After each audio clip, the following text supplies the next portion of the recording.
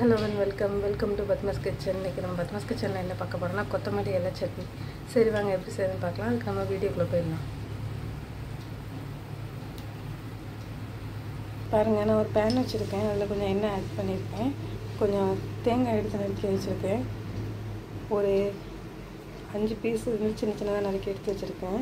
அதை ஆட் பண்ணி நல்லா வதக்கி எடுத்துக்கலாம் எண்ணெயிலே.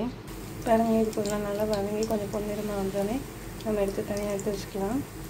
பாருங்க தேங்காய் வதக்கி வச்சு தனியாக எடுத்து வச்சுட்டேன் நெக்ஸ்ட் வந்து கொஞ்சம் தண்ணி பேன் எண்ணெய் எண்ணெய் ஊற்றி கொஞ்சம் உளுந்து போட்டிருக்கேன். இதுவும் நல்லா வந்து பொன்னிறமாக வந்தோடனே அது மாதிரி தனியாக எடுத்து ஜாரில் வச்சிடலாம் மிக்ஸி ஜாரில் பாருங்க உளுந்து தனியாக எடுத்து வச்சு வச்சு நல்லா வதக்கி வறுத்து பாருங்க எண்ணெய் ஊற்றி ரெண்டு சில பூண்டு போட்டிருக்கேன். இது நல்லா வறுத்து எடுத்து கொஞ்சோண்டு புளி போட்டு நம்ம அதே மாதிரி எண்ணெயில் போட்டு வறுத்து எடுத்துக்கலாம் பாருங்க புளி டக்குன்னு கறிக்கும் ஸோ சீக்கிரமாக எடுத்து வச்சுருங்க லைட்டாக வதங்குங்க.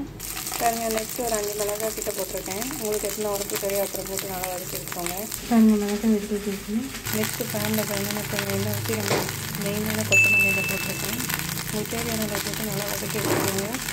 கொத்தமல்லி வதங்கிட்டு அது நம்ம ஏற்கனவே எடுத்து வச்ச பொருள் வச்சு அரைச்சி எடுத்துக்கலாம். அதுக்கடுத்து கொத்தமல்லி போட்டு அரைச்சிக்கலாம். உப்பு கொஞ்சம் போட்டுக்கலாம் தேவையான உப்பு. இப்போ நம்ம வளர்க்கணும் கொத்தமல்லி தண்ணி எடுத்து வச்சு இதை ஆற வச்சு இது அதோட சேர்த்து மிக்ஸ் பண்ணி அரைச்சி எடுத்துக்கிட்டா சூடாக சுவையான கொத்தமல்லி சட்னி ரெடி இப்போ பாருங்கள் நம்ம கொத்தமல்லி சட்னி தாளிக்கிறதுக்கு நான் கொஞ்சம் பேனில் எண்ணெய் ஊற்றிருக்கேன் நல்லெண்ணெய் ஊற்றிருக்கேன் கடுகு உளுந்து போடுறேன் நெக்ஸ்ட் இது போடுங்க அதனால் கருவேப்பிலை ஆட் பண்ணி. பாருங்கள் நம்ம கொத்தமல்லி சட்னி ரெடி ஆகிட்டு நான் ஒரு பவுலுக்கு மாற்றிட்டேன் இப்போ நம்ம தாளிச்சது இதில் எடுத்து ஊற்றிட்டா சூடான சுவையான டேஸ்டியான ஹெல்த்தியான கொத்தமல்லி சட்னி ரெடி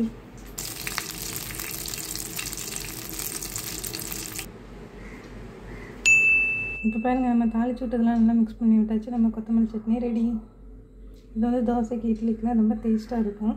ரொம்ப ஹெல்த்தியும் கூட இருக்கும். தேங்காய் சட்னி இந்த மாதிரி தான் நம்ம அரைப்போம் இந்த மாதிரி நம்ம வித்தியாசமாக கொத்தமல்லி சட்னி வச்சு அரைச்சி சாப்பிட்டு கூட ஒரு இட்லி தோசை கூட நம்ம சாப்பிட்லாம். ரொம்ப டிஃப்ரெண்ட்டாக இருக்கும்.